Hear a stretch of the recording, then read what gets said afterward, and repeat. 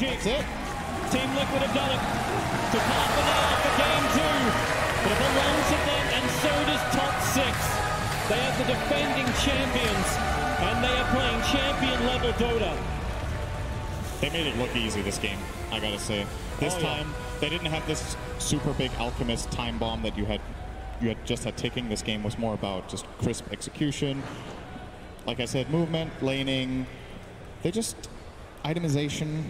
They're I, I every feel, I feel box like I got. watched. I feel like I watched this game and I couldn't really put a finger on what they did. Like everything was super clean. Actually, no, there was one. GH missed a kick critical. once, But then he Oh, also- missed a silence. Yeah, but then he got like three, four man kicks as well every Yeah. single time. Ah, oh, GH they missed all across the map, and that's going to feel good for Team Liquid. A terrific start to their TI8 campaign here in the playoffs. They're able to get the victory in the quarterfinals. Now they're top six at TI8.